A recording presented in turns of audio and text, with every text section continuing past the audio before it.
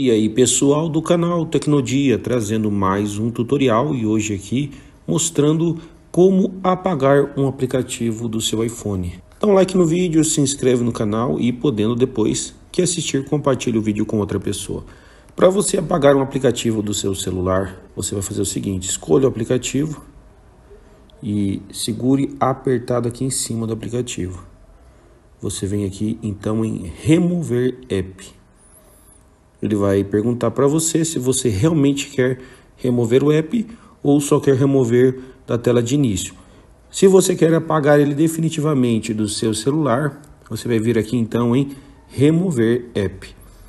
Ele vai perguntar de novo se você quer apagar. Depois que apagou, é só baixando de novo. Então, apagar.